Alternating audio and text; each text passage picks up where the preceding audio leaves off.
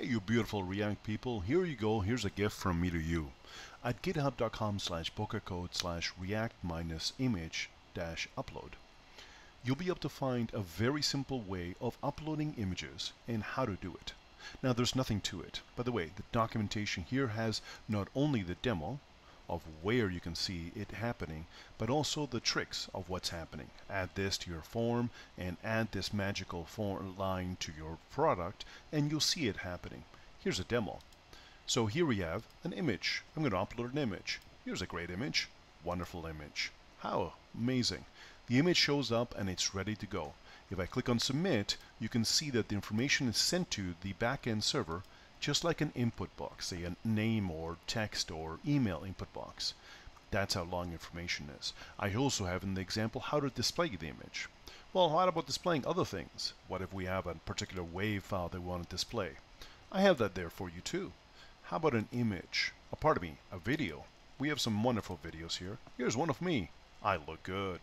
Here it is, you can play it and you can display what's going on there. Simply submitting it works the same way. How does this magic work? Very, very simple. What we do here is we have a TypeScript project for you. You can change it to regular JavaScript if you have to. And the trick is this method right here. What it's going to do is keep track of the actual contents of the files ready for you to go over here in this file base64, which you can then send on your form submit on the regular React app. This magic sort of keeps track of the files and keeps it ready for you later. What happens? Well, in this case, I show you an example of how to display an image, display the contents of an image, and it figures out it's an image, figures out it's a, it's a video, no problem. Let's display the video version of that content. Figure out it's a WAV file or an MP3, it'll figure out how to do it. And here you go. These are examples.